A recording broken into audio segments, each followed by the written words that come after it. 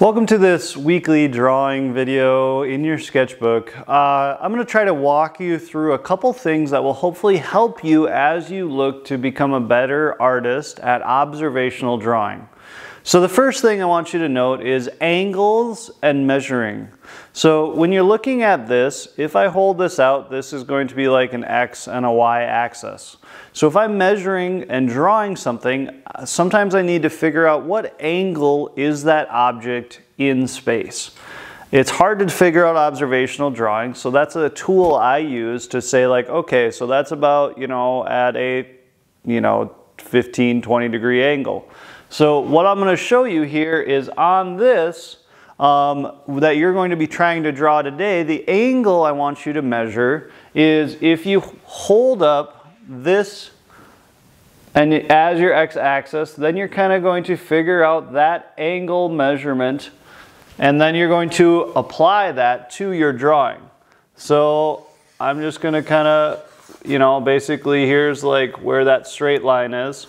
And the angle of that seems about like this.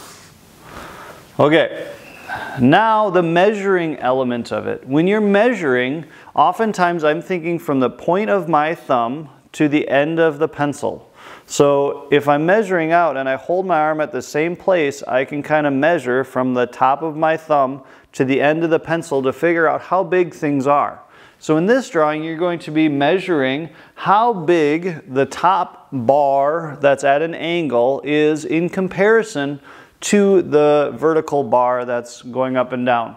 So if I go over here and I measure from my thumb to that, that is like one, two, two and a half. So this bar right here has about two and a half um, up and down for that vertical axis. So this would be in relation to this. Let's see, you know, if you're measuring again about two and a half from what this is, so one, two and a half. I'm gonna make that line once I'm a little more confident in it, make it a little bit bigger, and then we're gonna throw in at the bottom and then you have a couple other elements that I want you to think about. So looking at the picture for different shapes. So in this picture, I think of this as kind of like a right triangle or whatever it may be. Um, because you can see at the top here, this goes over and makes a triangle shape. And then inside of that, you actually have a triangle, again, right here and figuring out how big that triangle is. And then you're going to start adding in a little bit more detail of throwing in some of those circular elements that make it so that the cord goes together. That cord's going to go down up here. Hangs on that light. So now you kind of have the basic shape. Now as I'm looking, you know, you have the cord that like this thing's maybe out a little further. And then it kind of comes down and around.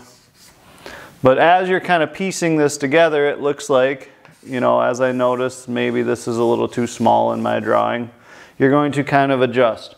But that is the basic idea of using shapes and using them in such a way that you can have it be a tool to have you get better at drawing. So again, from the thumb to the point, and then using your angles to figure out what does that shape look like on my actual paper. I hope you uh, enjoy this process. This specific drawing has given me um, a good amount of understanding of where students are and usually students can figure this out. If they take their time, they're patient, they measure, and they look observationally, they look as much as they're drawing, and if you feel really comfortable with the first one, if you want to challenge yourself, I put that next image up there. That one's going to be trickier with the angles and the details. Um, so you got two options here. Again, in your sketchbook, document it after you finish your drawing and turning that in to your slideshow. Good luck.